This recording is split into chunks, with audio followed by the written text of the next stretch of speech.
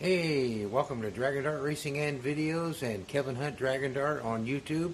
Just a quick recap of the weekend. Uh, Coles County on Friday night.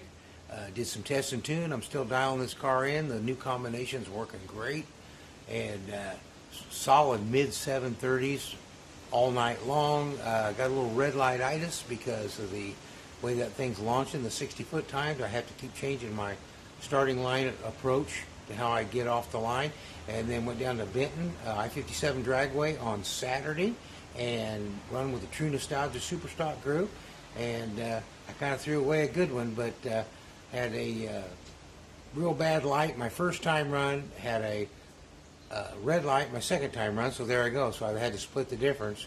So I think I finally got it dialed in. First round, a 009 light, and I had uh, a win. Second round, I pulled a 002 against a car that was faster than me. So as I'm looking back, I didn't see and did, so I dumped not quite soon enough, and I broke out by a hundredth. So in our racing, you can't change your index once you dial it. So we'll try it again. Uh, I'm really happy with the way the car's running, and I really thank all of you for checking in. And if you like what you see, hit that subscribe button, that little dragon. Thank you.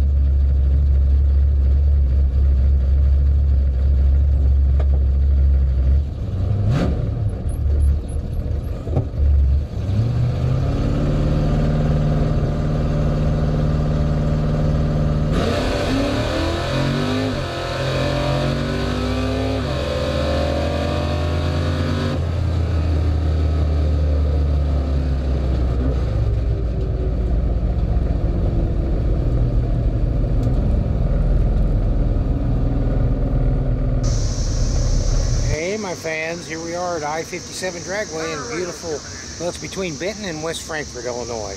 I've been a little lax on video updates, so here we are. It's hot, the cicadas are screaming, so here we are.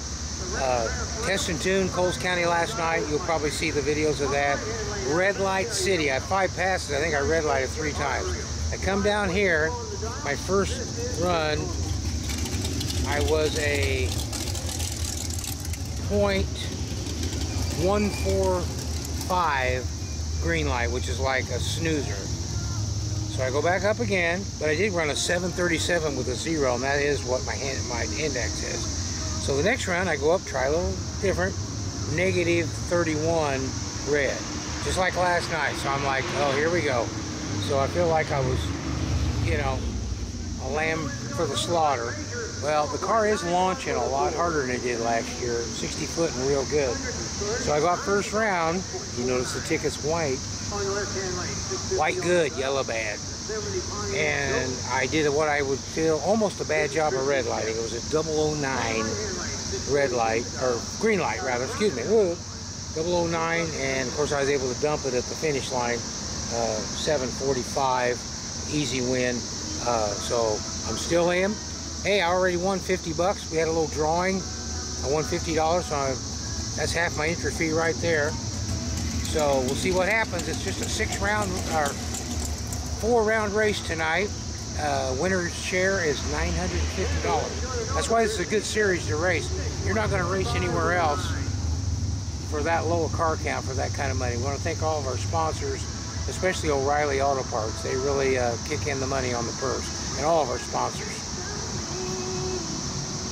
Well, round number two which was six cars left. This was going to be a four rounder today. I got a yellow ticket.